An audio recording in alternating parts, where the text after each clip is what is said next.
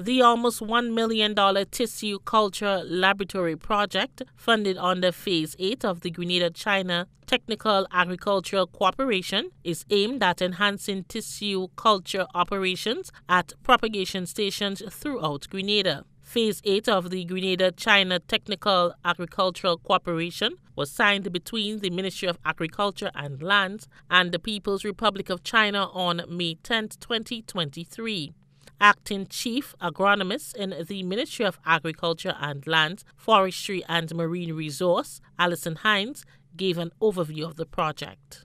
A total investment of EC $685,000 was spent to construct and equip the facility with all of the equipment, the materials, and chemical reagents required to operate the lab. So, ladies and gentlemen, we have a fully a lab that is ready, and it could it could be put into operation um, tomorrow. It's fully equipped. The Ministry of Agriculture has allocated over EC two hundred and thirty um, thousand dollars in this year's budget to recruit staff and provide the operational support to the lab.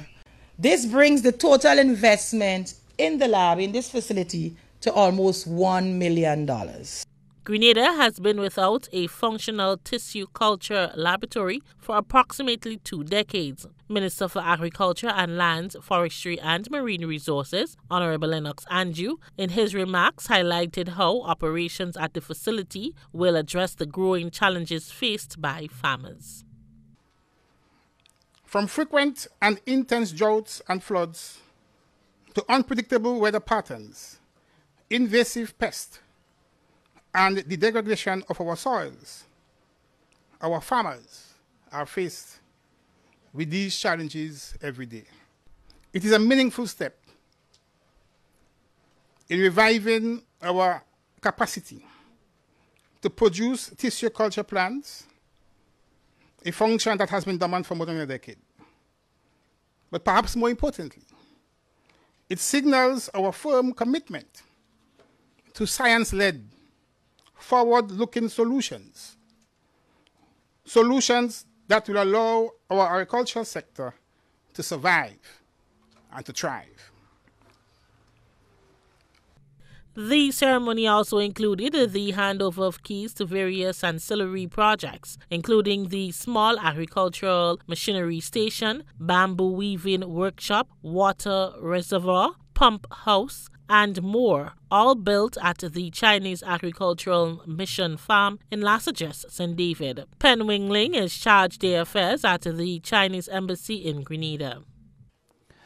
The establishment of Bamboo Weaving Studio is an inno innovative attempt of cultural exchange and industrial cooperation between the two countries.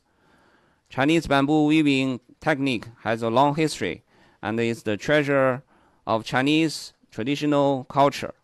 We hope that through the establishment of the bamboo weaving studio, we can teach this ancient skill to our friends in Grenada so that it can take root here. This can not only enrich the cultural connotation of Grenada, but also create new employment opportunities for local people, promote the development of related industries, this initiative aligns with the OECS FAST strategy endorsed by Grenada and other OECS member countries as an urgent action plan to promote food security, self reliance, and agricultural development in the region. Rena P. Thomas, GBN News.